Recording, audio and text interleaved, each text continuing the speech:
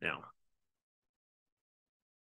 Hello, everyone. Yet once again, it's another day of fresh grace and mercy. This is the Guilt, Grace, Gratitude podcast, sponsored by Logos Bible Software, where we bridge the gap to Reformed Christian theology for your listening pleasure.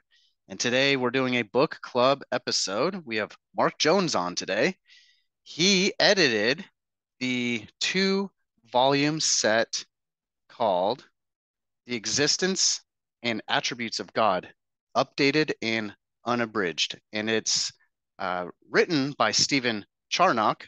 Again, it's edited by Mark Jones, and we have Mark on today. We're going to be talking about this here in a moment. And it's published by our good friends at Crossway. So I want to make sure you guys go to our show notes, and there's a link to Crossway. Hit that, check out this two volume set, get it for yourself or someone you know.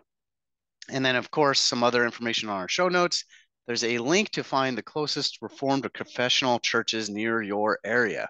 So if you're looking for a church to call home or you know somebody that's looking for a church to call home, that's a great resource for you guys. Hit that link, type in your zip code, and some uh, church options come up for you.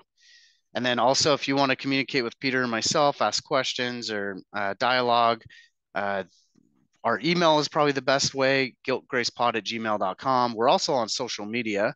We're pretty active on Twitter and Instagram. It's the same handle for both at Guilt Grace Pod. You can also find these conversations, these uh, episodes on YouTube. So if that's more a better platform for you guys, switch over to YouTube, check out the video.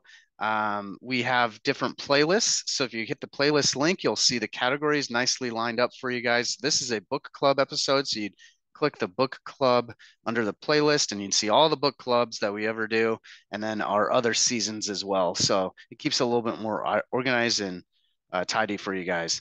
Um, other than that, uh, there's also the Patreon link in the show notes. So you heard me mention Logos Bible Software. We can't thank them enough. They are our main sponsor. We have some other bridge builders. Uh, you're going to hear some words from some of our bridge builder sponsors in the middle of this episode. And uh, also, if you are an individual and you want to help us out, feel free to click that Patreon link and see the different levels of giving to help us out. So, with that said, if I haven't forgotten anything else, please let Peter further introduce Mark Jones today. Yeah, we have Dr. Mark Jones serves as the pastor of Faith Vancouver, Vancouver Presbyterian Church, which is a PCA in British Columbia. Canada. He has authored many books, including Living for God and God Is, and speaks all over the world on Christology and the Christian life. Mark and his wife Barbara have four children. As you guys notice, he's wearing a UW um, uh, hat, which Nick got all excited about until they realized that that's not the hat that he was. Mm-hmm. He's he's super excited where he went to Wisconsin, not to Washington. But it's a pleasure having you on, yeah. regardless, Dr. Jones. Thank you for having me on, guys. Great to be here. Yeah, thank you, thank you so much for coming on. We were yeah talking about football and college football a little bit and um, real football, American football, all that, mm-hmm. all that fun stuff, which we I'm sure we might kind of dip into a little bit as well. But for our listeners who, who may not know you, this is the, maybe the first time that they've heard your name if they haven't um, seen your work or read your books before. Uh, if you can let our listeners know a little about yourself, uh, your background, uh, and your current work.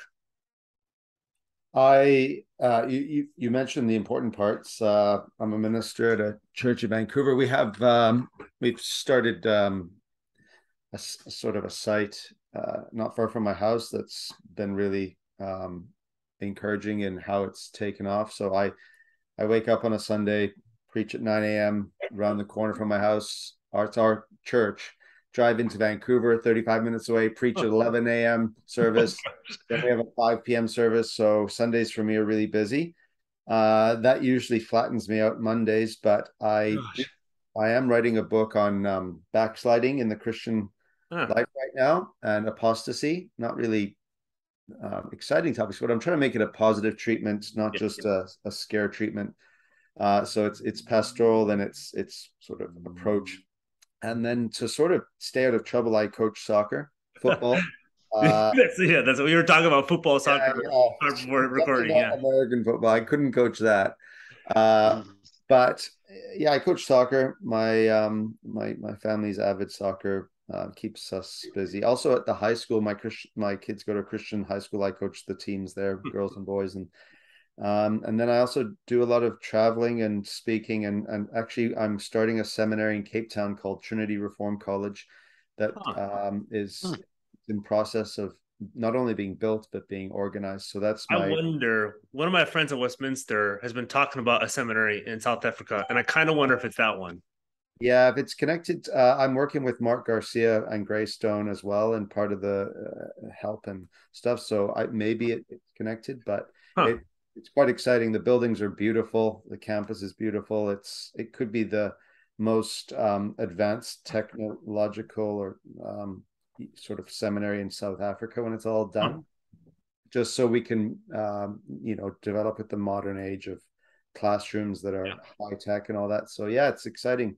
That's awesome. Yeah. If you ever, if you for some reason see the name Alex Hewitson, um, I know him. I don't know if he will apply or, or whatever, but I know he's been talking about something like this. I'm, I'm going to, uh, I'll be at Westminster uh, end of the month and uh, I'm going to go walk around campus, say hi to some guys. So yeah. Awesome. Yeah. So, um, about so more about this work. So it's is it's a reprint from Crossway. So it's not this is not a brand new book, but a reprint. First publication from what I saw was 1682, um, and that I can I think that presumes that this is a seminal text for Christians. If we reproduce this and it's being edited, uh-huh. so it's it means that this means something to to meditate on and, and glean scriptural truth from. But um, kind of behind that, who actually who is Stephen Charnock? Somebody's re- listening to this, like, okay, great, Stephen Charnock. No idea who that is. Um, yeah. who, who is he, and uh, why is this book important for today? He's uh, he's he's he's fairly well known of the Puritans. So you you have the the stalwarts, you know, John Owen, Thomas hmm. Goodwin, mm. Baxter, Bunyan. They're kind of the, and then you kind of get a next level of of at least familiarity because a lot of what we know of the Puritans kind of has been mediated to us through like the Banner of Truth Trust, which reprinted certain works and not. Yeah. So we kind of, uh, as a 20th, 21st century um, Christian evangelical Christians, we've we've got some works that we are quite familiar with, and then other works that weren't. But if you go back to the 17th century and even 16th, it doesn't always cor- correlate to what was popular back then. But this work uh, is is quite well known. I think hmm. most, especially Reformed evangelical Christians, would have heard of it, and yep. many claimed to have read it. Even, yeah, uh, even though it's really long. I think dabble might be the better word. Yeah, so, that's that's what I would say. Yeah, I didn't read the entire thing. I read a good chunk of it. Yeah, yeah. There should be a prize from Crossway for someone who reads, you know, every word in the two volumes and and can and can honestly say before God they did. Yeah. And, there should be a quiz that comes with the book too. Did you actually read this? If so, take the quiz. yeah, you know, I don't know if you. Yeah, that would scare me. I and I edited it. so uh, yeah, he was an English Puritan theologian, um, born in 1628 in London. Huh. And so he was a little the bit same later. year that John Owen was born. No, he was 1616. Oh, uh, so so this is a, he was a few years earlier yeah he's he's younger he's uh you know goodwin was 1600 so you you kind of have this but uh, he's really kind of born in the perfect era to to have um, you know all the best works available to him so that when he writes in uh, the latter part of the century you know you, are getting crystallization of the mm. doctrine of god but in a pastoral context so that mm. he's writing is not what i would call the highest of um, theological discourse, but it's pretty high. It's yeah. very sophisticated. Yeah. So that's his other works. I mean, they are tremendous. You know, it's not just the attributes and existence of God that uh, that are so well known, but every time I read Charnock, I'm blown away by how um, how well he writes, how clear. So, hmm. yeah, he he spent time in in Ireland. Um, he he was at Trinity College. Uh, he was studied at Cambridge and Oxford, like most of the Puritans went to one or both of the yeah. places. And uh, he was a pastor. He he actually um, went uh, belonged to a gathered church at one time with uh, Thomas Goodwin and Thankful Owen and Theophilus Gale, who were um, you know well known Puritans. So yeah. he, he was in quite a impressive intellectual and pastoral context. Huh. Yeah. And so then that... maybe real, real, quick, like about this book, like what actually, like what is this book? Or what's this book yeah. supposed to do? This book, it's this book is our discourses um, on the uh, existence of God. So the, the, the book opens up with um, sort of does God exist and, Mhm. and proofs of God's existence. And uh, it's a very classical treatment in many respects, but pastoral and and then you get into the attributes of God. And so it's not every single attribute, although they ultimately are all covered in a certain sense just by the very extensiveness of one attribute being discussed, others get. So you do have um, the attributes of God. And so I think there's um, when it's all said and done, there's 14 discourses. Mhm. Um, and these discourses range in length, but they're they're pretty long. They would be like easily a book published today in and of themselves. Gosh. So um, so you have the you have the two discourses of uh, God's existence, then on practical atheism, Mhm. uh, and so it's very practical even in its discussion of God's existence, and then it gets to um, things like on God's being a spirit, but it's funny it moves then to spiritual worship. So everything's designed for um, the church and people in the church. So I say it's not at the it's not like a dry academic treatise it's it's pastoral and then you start getting into things like the eternity of god immutability omnipresence knowledge wisdom um, power i think it is holiness and goodness and dominion and then i think the last one's was patience patience so it's uh yeah it's it's it's great great work So if some of the audience was wondering, uh, why is this Stephen Charnock not going to be on the episode today? I guess you answered that. so He's dead for the why- why isn't- years or however long it's been. Yeah. yeah, yeah. yeah this this this book killed him i guess uh he, he wasn't finished uh writing you know he, i think he could have carried on with a few more discourses but Oh, he gosh. died so it was uh too bad he didn't live another five ten years Hmm. Mm. And maybe th- this is both for me and I think the audience. Um, why why are they called discourses? Hmm. And not like chapters or topics or anything like that. yeah I, I mean there's there's different words that are used historically you know you have a, a treatise or um you know um it's it's it's just the language of the time i i think discourse sounds cool to be honest um yeah. It's like football and soccer, right? yeah yeah yeah. Somebody's like, "How dare you say the same or two words for Yeah. the same thing?" yeah Right. Yeah. yeah you know um there's different phrases i mean you, you look at uh, how luther referred to some of his writings and um yeah just stylistically and and what it means is it's it's a it's it's also an extended argument in a sense um so yeah it's just common language of the Hmm. time Okay. And then for for you, so I mean, this has been out there for hundreds of years, three hundred plus years. Um, but what? Uh, and that- this may be a, a simpler answer than maybe I think it is. But what got you interested in editing? Because I know you've written your own books. Um, what got you interested in editing Charnock's book? That was yeah it wasn't really my idea. Uh it was interesting because i've never really fancied myself as much of an editor. In fact Mhm. one of my my biggest weaknesses is is editing. Yeah. Uh, I'm, I'm like the worst editor they could have got um for this work. Thankfully i had a lot of help from from very able people in in different respects. Um there was there were some guys who uh, David Barshinger at Crossway, he's got a very, very keen eye on on small details and stuff. And then I have a few friends, um, Michael Lynch, he's just finished work on Bishop John, Davenant, published with Oxford University Press, but he's Mhm.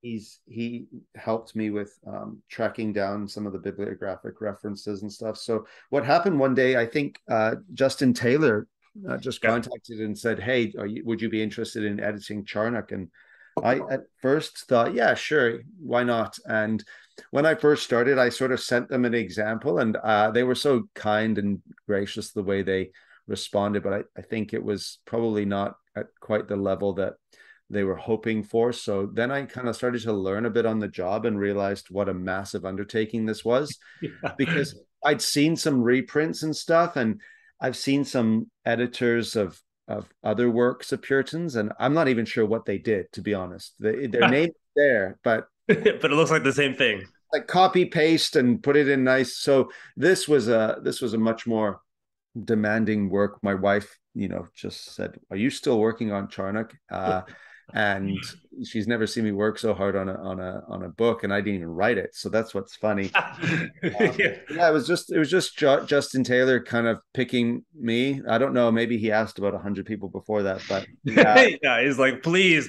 please, God, can you take this over? We've asked yeah. everybody else. I need a sucker who's dumb enough to take this on. Uh what's seventeen hundred page book? Can you do this, please? Yeah, there's a Canadian. Let's ask him. So, They're really nice. Yeah. Nice. yeah they don't they say, can't no. say no. Yeah. yeah. I'm British, so I'm not nice. Um, so yeah, there you go. Uh, it was it was it was Crossway's idea. Gotcha. Mm. Okay. Uh, and then so kind of getting into the editing work because this is like you said, it's not really like editing the chapter so much or his language, but it's like you provide some chapter summaries, some commentaries, maybe like what like what did like what what was your editing work like? What did that consist of to help us read this? Oh well, if you, I mean, if you've got an hour, um, let me get make a, let me make it short. I try and yeah. so so like every anything from paragraphs and run-on sentences were shortened, um, hmm. just because you know the apostle paul in ephesians 1 has this like massive run-on sentence. Yeah. Yeah. puritans took uh, being biblical quite seriously i guess. Yeah. Their so, titles were extensive as their sentences. The semicolon just goes and i remember doing my phd thesis and uh, michael Haykin was one of my supervisors. He said mark you're starting to write like the puritans you know you've got semicolons everywhere. And i was like wow you know i'd actually I, he was right. So uh, we've tried to to condense sentences. Paragraphs were so long; they were massive. We shortened um, paragraphs. I've added some subheadings to just hmm. orient the reader for the major sections of each discourse. We had I had a lot more at first, but then they just became too distracting, so I had to then take them out. Um, thus, we have like different numbering, not different numberings, but different better numberings of of of how each discourse unfolds. All of the Greek, Hebrew, Aramaic, uh, called the Chaldee paraphrasts. Um, mm-hmm. We've translated the Latin, huh. Greek, Hebrew, so that hmm. in, and every time it's used, it's been translated, and you have the English translation. So, kind of your average person who doesn't know those languages can read this a little yeah. bit easier. Yeah, and sometimes, I mean, Charnock usually provides the English translation, usually after the Latin, but sometimes he doesn't. Uh, so it was a case of um, deciding when to let Charnock, you know, translate it and when to, we needed to do that. Um, the archaic words have been modernized, so hmm. doth becomes does or thou has become you, and and so even with the King James version, um, we've we've modernized it. Some are probably going to freak out and and not buy it for that reason alone, but I think we we did a pretty good. Um, even even doing the editing of the King James, like we've tried to be um, not overdo it with how we've changed things, but enough to make it read. There's been um, many scriptural references that um, that need to be in the uh, footnote. They're in the footnotes. We've inserted them back into the body, and I've had to check the biblical references. Sometimes there was a biblical reference where he was off a verse or a chapter, or it was just misquoted. So there are things like that. Um, for your great um, glory and uh, you know the, the, British spellings have been Americanized. Huh. Uh, so behavior is now behavior, but there's no you. That's right. Yeah. Yeah. Honor is honor, but no you as well. Yeah. Yeah. So, and then he would say there's words like abhorrency, which is now abhorrence. Hmm. Um, just things where there's uh, Holy Ghost is Holy Spirit, hmm. but then like on a more significant level, um, not only is the punctuation modernized and the relative pronouns modernized, but um, the real glory of the book are the footnotes where we have looked at his footnotes, and sometimes he'll just have a name. Hmm. Um, and it's a last name like Muis, and nobody knows who that is. So we've had to go and find oh my gosh. about what work was he probably referencing, and sometimes uh, I've found, and, and Michael Lynch and others have found um, amazingly uh, where the work was, what page it was. And so you get the full bibliographic reference. So you get to see the scope of learning for Charnock. and you would miss that in the old editions because you just see little names here and there and you don't know who they are so i'll say this is a roman catholic um, theologian who was out of born in spain and so on so you you, you alert the reader to who he's interacting with um, and things like that Mm. And then Yeah. maybe too for for our listeners, Brooke, before next question, because I, I noticed you put chapter summaries to kind of like I I Yeah. think they're fronted, right? So it's like Yeah. you read the sam- summary, and then to me, how, how does that help the the reader it, instead of just reading like the Charnock's full work without the chapter summaries? How does that help them read this a little bit better? Yeah, just if you want a kind of quick intro to what this chapter is going to be about, especially the doctrine aspect of, of what is he saying, I've tried to just summarize and, and crystallize the thought of a discourse into a, a chapter summary. So it just kind of prepares you to dig into the chapter. In fact, a lot of that work I had done in writing on Charnock and the existence and attributes of God in a Puritan theology. I wrote that Oh, yeah. chapter on Charnock. And so I That took Yep. yeah i took some of that work and said okay you know this will be i think it'll be helpful to just um, for readers who need uh uh to just gently sort of prepare their mind for what they're up up against in the next uh, thousand pages uh, there you go Uh, so that that was uh, we thought it'd be good to have some chapter summaries Awesome. Mm. Yeah, there you go. I mean, that's good for the audience to just even know what goes into editing a- Yeah. a work realize and all the- Work that is. and Oh. tons tons of research. So Yeah. um As much so as yeah. was this harder or easier than writing your own book? Oh, much harder. Yeah. Um, longer, harder. Just, I mean, okay, Charnock, this book is amazing. So Yeah. it's well worth it. But um, usually I write a book and then someone edits it for me. Uh, Mm. So I was kind of doing the edit. relationship switched. Yeah. Somebody else wrote the book who's Yeah. now dead, and you have to Yeah. edit it without his help.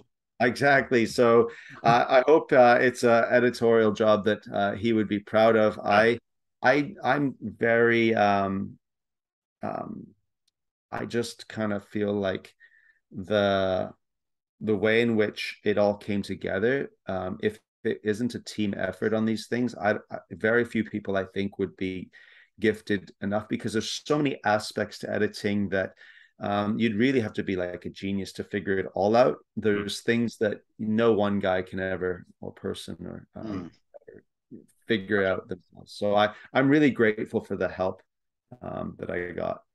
Yeah. And even personally speaking, knowing that this is you're editing a work that someone else uh, wrote, was there a particular chapter or a part of a chapter that helped you personally uh, out with your understanding of God and His attributes, and maybe some aha moments or something?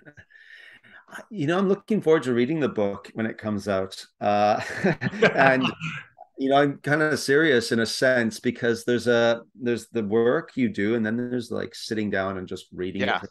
And I never really was able to just read it for fun. Um, I mean, there were times when I was blown away and going, Yeah. "Wow, Had you read it before you edited it? yeah, whole- not not the whole, no. Um, but I had read a lot, a lot of it because I had worked with Charnock before in a chapter. But uh, I think if you just read the goodness of God discourse and spent some time really studying that one alone, it, it would change your life. It, it really would. Mm. I think there's got to be a, a way we can get the goodness of God discourse even summarized a bit and and put out there as a distinct volume. You know, like people have written on an attribute, the holiness of God or whatever. The goodness of God, that book needs to. I'm worried this two volumes won't get into the hands of like a lot of average sort of Mhm. Christians. I somehow the goodness of God's got to get into more people's hands because That's, it's that- that's what we're trying to do to get this into more people's hands for sure. yeah yeah we need to then take the goodness of god and and maybe even summarize it and abridge, abridge it. Uh, there's things that you maybe don't need to and and just standalone volume that would be a really excellent uh, gift to the church. Could could you uh speaking of that goodness of God discourse, is there something you could whet the appetite of the audience to like just explain what that means a little bit? Like, like just I know it's a huge definition, but just Yeah, yeah, yeah. something And I think what do you people- what do you mean? Yeah, people think like, oh goodness, like I'm good. Is that like what you mean about God? yeah it, it, what, what, you know you kind of get to the goodness of god in discourse 12 so by then if you've been reading your your understanding of goodness has been uh illuminated by your understanding of God's wisdom and his knowledge and his holiness, his power, his immutability, his omnipresence. So God's goodness is not a goodness that can ever be understood apart from every other attribute. And that's why, you know, the simplicity of God is so important because anytime you look at God's goodness, you're looking at God's goodness as holiness, God's goodness as wisdom, it's powerful goodness, it's unchangeable goodness. It's it's but then, you know, he'll write on like the goodness of God and then he'll have a little comment. I think one of my favorites was he's applying it to Christians and saying that there was a greater goodness shown to us sinners for a time than to even Jesus Christ himself when he was on the cross. Hmm. Um, you know, and just little you get phrases by Charnock that the sentence alone, it it's out of this world the things he comes up with. And I there's not I'm not just saying this. I read I've got Owen and Goodwin beside me right now as I'm reading them. But when I read Charnock, I, I actually think he's got the best way with words of all the Puritans, more than even more than Watson. You know, I read wow. that's that's a huge praise. Yeah. Yeah. That's my opinion. I'm, I'm, uh, uh, but I will fight. I will fight for it. we'll put, we'll put that on Twitter and see what people start yeah, saying. Yeah, yeah. well, I don't, I don't go on Twitter because I know you're, you're smart. It's a scary smart. place. I, well, I also don't have discipline to behave myself on Twitter. Yeah, Talk yeah. about dealing with temptation. Yeah, it's yeah. like yeah, yeah. I've got Owen. Uh, I've got John Owen on temptation, and uh, I'm pretty sure he'd tell me not to go on Twitter. Yeah, yeah, yeah, yeah. That's and that's it's it's really yeah, it's really happening. I, I've been reading um to the chagrin of a lot of Christians for some reason, but I'm, I'm reading a lot of Aquinas.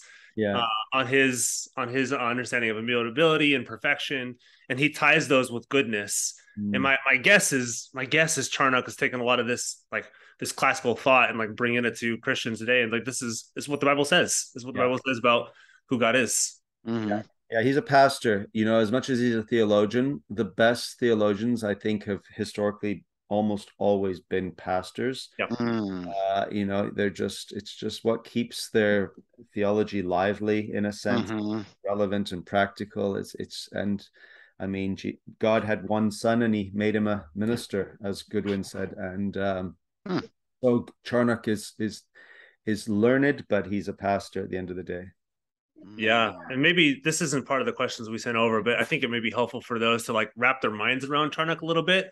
Who are who are some of like maybe you since you've edited this and you've seen the people that he references and that he um some of the footnotes who are like who are his influences like who does who does he reading who is he influenced by yeah. to write yeah, that's that's um it kind of gets the hard I mean, there's these little debates that happen on the internet and stuff these days that come and go, right? And um, you know, who who are influencing our reform forefathers. Uh what's amazing to me is Charnock doesn't seem to be embarrassed by referencing a lot of Roman Catholic mm-hmm. theologians.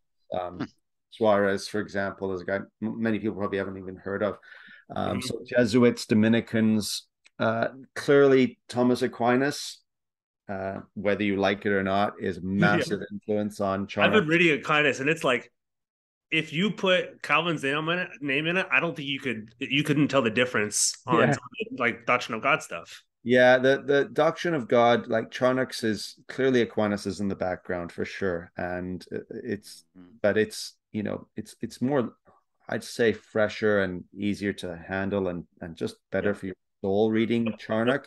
Yep. Uh, so I, I don't I don't think of Aquinas as someone where you know my I'm I'm going through a period of suffering and I'm like, okay, I'm going to open up, you know, I've got Aquinas right there in my that, but I would open Charnock up to try and help me in a, a moment of suffering, sadness, or even anything else. He has that ability. So you've got Roman Catholics. Um, there's the the Amyraut, uh, who you know people hear of Amyraldianism and get all scared, especially in reform circles. Um, Amyraut is very influential uh, upon him. So you've he's got, definitely like the it's kind of like hypothetical universalism in a sense. There's there's that yeah. There's some of those uh, theologians that um, yeah. I mean Amyraut. It's there's strains and different. Yeah um, but you, you know, it's a case of just taking what is good from everywhere. There's contemporaries, there's Augustine, there's there's then there's also um, poets and Greeks and, mm. and and just anything that he feels he can use, he uses and he uses well, and he's not embarrassed about it, and he doesn't need to worry that someone goes on Twitter and says Charnock this papist, you know, stay away from him.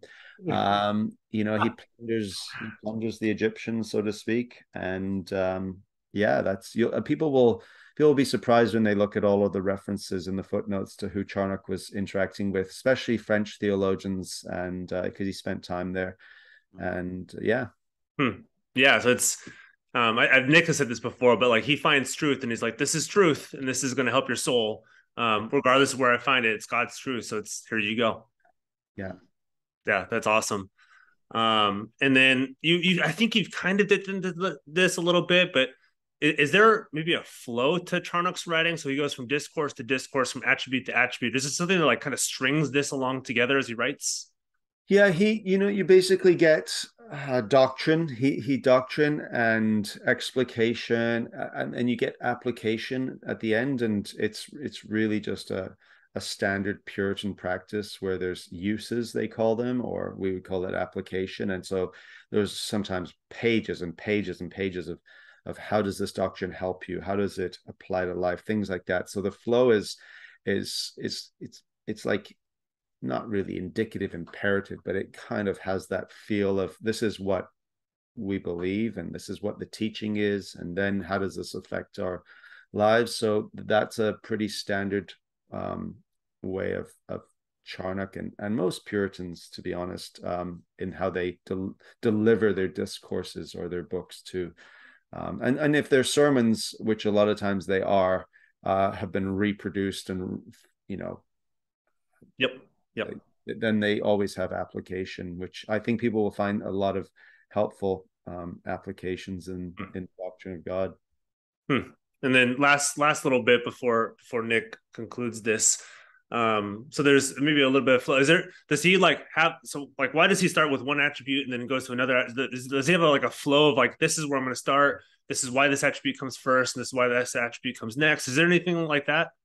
Yeah, it's. I mean, you have uh, it's i mean obviously the existence of god comes first because he's yep. trying he's establishing who that god exists uh, and then he gets into the attributes i mean is there a, a flow to why you, you'll probably get um, what we call the absolute and relative attributes. So the absolute eternity, immutability, um, omnipresence, and then the relative attributes, things like wisdom. We we have even communicable and yeah i was about to say it sounds exactly like that communicable and communicable. you might kind of find that flow where he's dealing with the more absolute and communicable but it's it, I, I wouldn't want to make that a hard and fast um, it's just a general approach even of of dogmatics um, yeah happen yeah people are wondering what that means absolute it's like things that are just like that's god and like we don't have any yeah. sharing with that and then the relative is like God is wisdom, God is wisdom, and like we can be wise, although we're not perfectly wise. So yeah. like, oh, what does that stuff mean? That's hopefully to help yeah, introduce that to them a little bit. Yeah, there were there were there were even debates among Reformed theologians on distinguishing the attributes and what yep. terms to use and all that. But uh, I think if to just basically bring it down to its lowest level, that would be um, what I would think. Gotcha. It sounds like as you're um, introducing Charnock to the audience, a lot of people probably weren't f- too familiar with him. And, and yeah, as a Puritan, he had a lot of ecumenical doctrine he, he, would talk about. And you're talking about the Trinity too, and and even um, knowing that he can use, uh, you know, other um, Christian sources out, yeah, other Christian sources, even Roman Catholicism outside of Reformed doctrine. Even like non-Christians using non-Christians is like, oh, this this is still some good stuff too. Yeah. Well, and and um, you know, the Trinity and natural theology is something Catholics do get mm. get right, and so and so Charnock just is reminding us, you know, there are certain doctrines ecumenically that we can we can pull from, we can use, and we're not, you know, stuck in our own yeah. our own bubble. But you know, speaking of that, um, as we conclude, based on your own engagement with Charnock's writing and your help with helping lay Christians, you know, like myself, read the text. Uh, how do you hope this helps us better understand our triune God?